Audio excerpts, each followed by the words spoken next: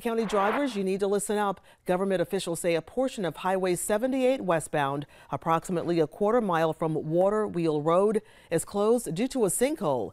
SCDOT crews have now put a steel plate in place to cover that hole just temporarily ahead of a permanent repair that should start tomorrow.